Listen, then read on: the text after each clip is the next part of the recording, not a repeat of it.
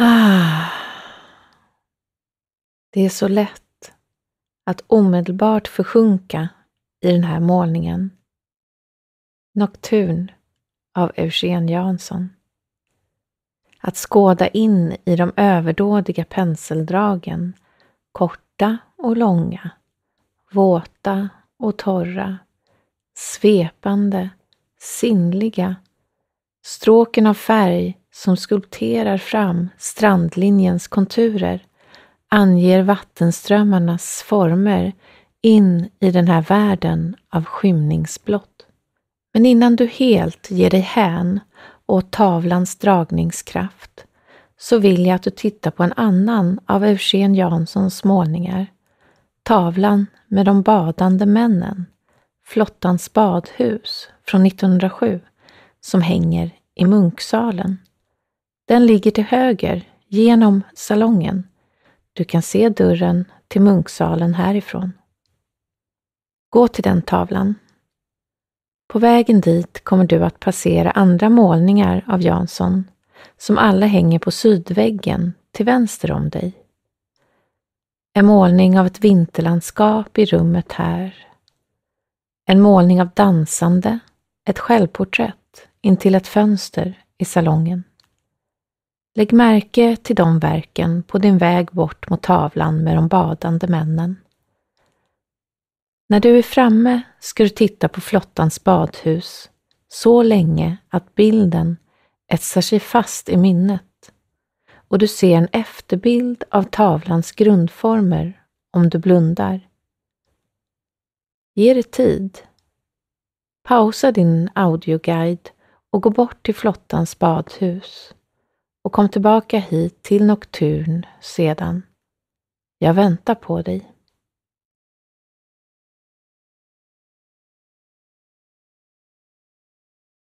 Nu är du tillbaka. Framför motivet som utspelar sig mycket senare på dygnet än den soliga scenen i flottans badhus. Det är ögonblicket alldeles innan mörkret sänker sig. En tidpunkt som ännu inte riktigt kan kallas natt. Himlen håller kvar en sista lavering av dagsljus. Allt är tonat i mörkblått. Färgen mildras av skuggor men glöder och lyser likväl.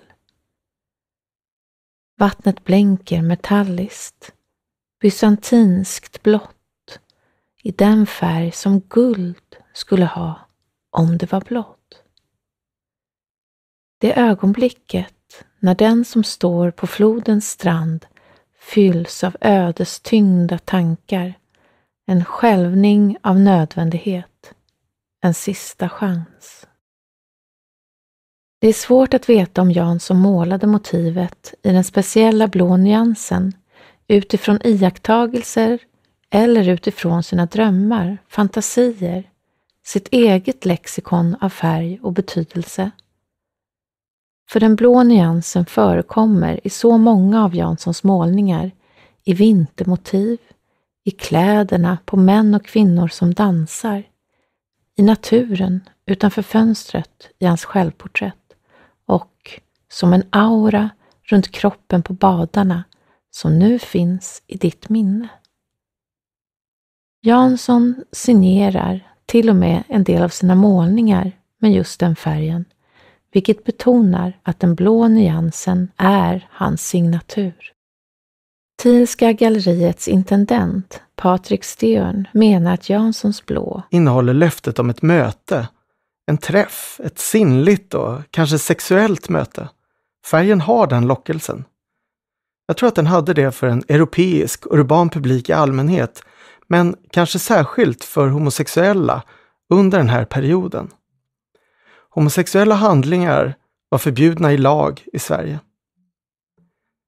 De här mötena måste alltså utspela sig i mörkret, i skydd av mörkret, i skuggan, i gränder, i parker. Den blå nyansen symboliserar passion. Ett helt register av känslor öppnar upp sig varje gång Eugen Jansson använder den här färgen. Oavsett var Jansson fick sin blå ifrån så kombinerade han iakttagelse, längtan och pigment för att skapa den färg som öppnar passionen. Men det är en färg som vi egentligen inte längre kan erfara på riktigt. Den kan inte upplevas annat än i drömmen. För även om vi fortfarande kan se panoramat över Kungsholmen och Riddarholmen från Södermalms stränder så är den färgen inte längre tillgänglig för oss. Vi kan aldrig se färgen av en 1800-talsskymning, vare sig med våra ögon eller känslor. Motivet, som är upplyst endast av gaslampor och deras fragmenterade speglingar, kan vi nu bara komma åt i fantasin. Janssons blå blir alltså en öppning, inte bara till en annan tid, utan också till ett annat sätt att se, känna och förhålla sig. Har du kvar figurerna från flottans badhus i minnet?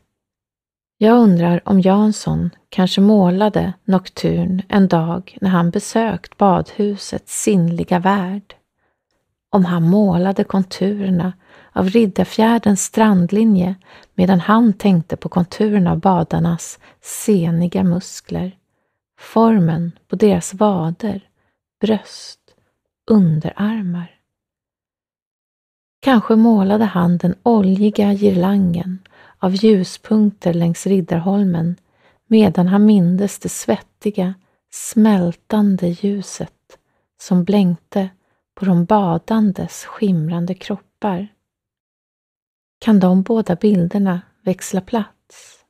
Målningen av badarna, vars kroppskonturer tecknats med en blå nyans som väcker hopp om ett sinnligt möte i skuggorna kan den målningen kallas nokturn.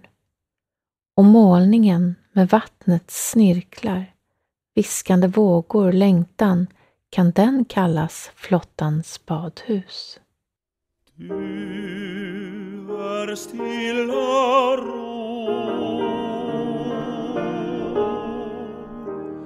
Stämman din harpospels susning. Gåtfull som böljegångs brusning Carok dorar vagar til ro Lo carok dorar